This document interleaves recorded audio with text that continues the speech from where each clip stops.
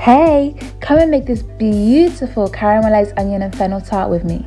You can buy short crust pastry if you'd like, but I prefer to make my pastry from scratch using flour, water, salt, and oil. Knead the dough for roughly 5 minutes before rolling out to your desired shape and size. Place the pastry into the tart dish, make some air holes, weigh it down, and bake it in the oven. For the filling, fry red onions and fennel in a little grapeseed oil, cooking on a low to medium heat until softened. Add some fragrant spices, a good pinch of salt, and a little agave.